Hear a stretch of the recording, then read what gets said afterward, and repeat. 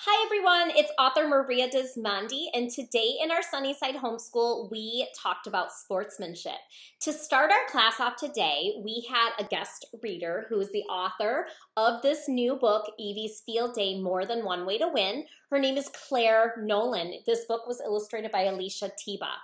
So Claire read her book, which is all about a little girl who just wants to win, win, win, and she keeps losing and losing, and it's really defeating her, and she's sad and upset. But at the end of the story, there is a baby bird who is in need of help. Evie's about to win in a certain activity, and instead of going forward for the win, she stops and helps the bird. She discovered that there is more than one way to win. So, boys and girls, after um, Claire read her book, we talked about the connections to good sportsmanship. We talked about how a good sport plays by the rules a good sport is a team player and allows their team to like they're not a ball hog, right? So not only am I going to try to shoot the basket in basketball, but I'm going to pass it to my teammate. So being a good team player is owning up to your mistakes and sharing the game with the team.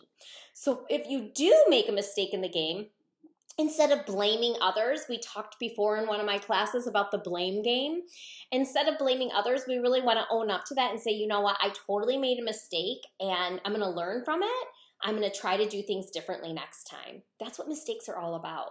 The third thing we learned was about being kind to others. This is so important when we talk about um, being kind to yourself. A sore loser is not fun to be around.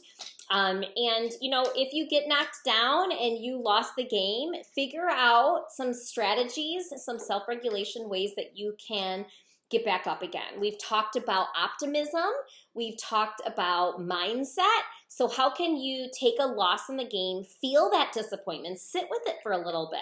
It's okay to feel disappointed. Feel sad. If you have to cry, you cry. But then start thinking, you know what?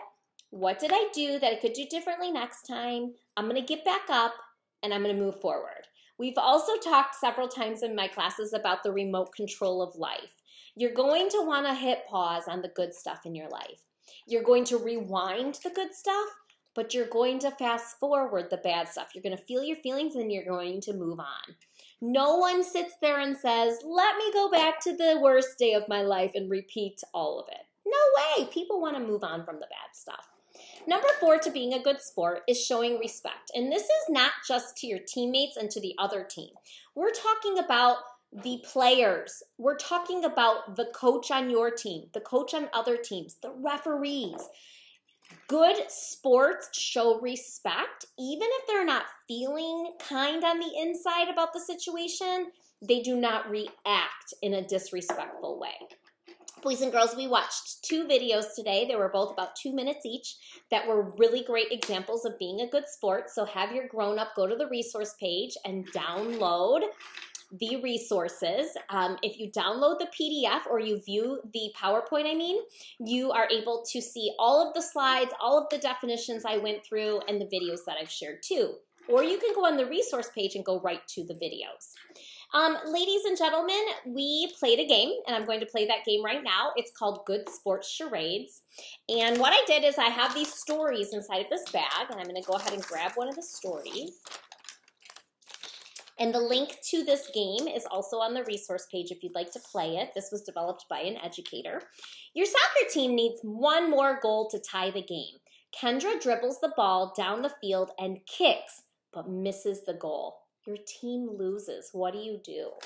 So now I'm going to choose an action. Kendra dribbles the ball and misses.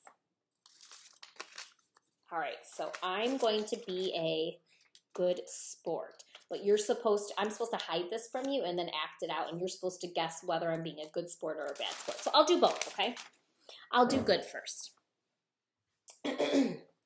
oh, Kendra, okay, buddy. Like, there's always other games. You tried your best. No big deal. Come on, let's just, let's go high five the team and congratulate them on their win. We're to move forward from this. That's being a good sport. How about a bad sport? Kendra, that game was depending on you. You lost the game for us. I'm never talking to you again. That's a bad sport. Calling names, that's a bad sport. Ignoring someone because they lost the game, that's a bad sport. Okay? Blaming others because they lost a game. I mean, yeah, that was a lot of pressure on Kendra, but you're a team. So you take it as a team and you don't play the blame game. So boys and girls, today's demonstration was simply taking a piece of paper and um, write, drawing a happy face and writing good sport. So I have kids come to these classes and have a notebook and we keep those notebooks so that way you can go back and you can know, okay, Miss Maria taught sportsmanship on May 20th, and we talked about being a good sport. Being a good sport is being kind. So go ahead and jot that in your notebook, and we'll see you on Friday when we have another lesson. We go all the way until June 12th. Thanks, everyone. We said goodbye in Indonesian, and that sounds like this Selamat tinggal.